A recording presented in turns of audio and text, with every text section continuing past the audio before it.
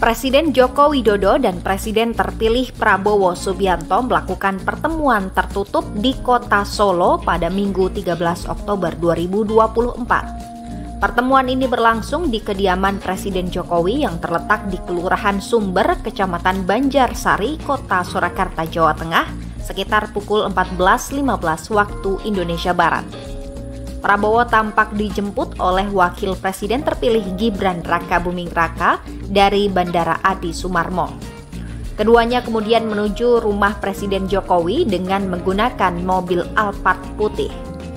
Saat tiba di kawasan Jalan Kutai Utara 1, Prabowo tampak membuka kaca mobil dan melambaikan tangannya kepada awak media.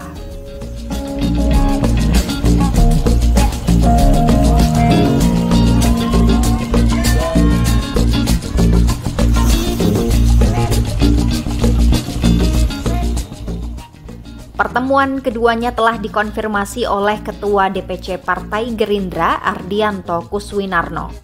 Ardianto mengatakan pertemuan Presiden Jokowi dan Prabowo selaku Menteri Pertahanan bersifat tertutup.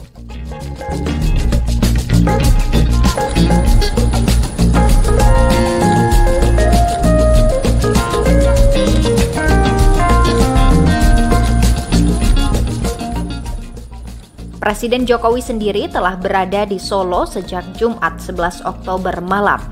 Jokowi telah menjalani beberapa agenda di Solo pada Sabtu 12 Oktober 2024 kemarin.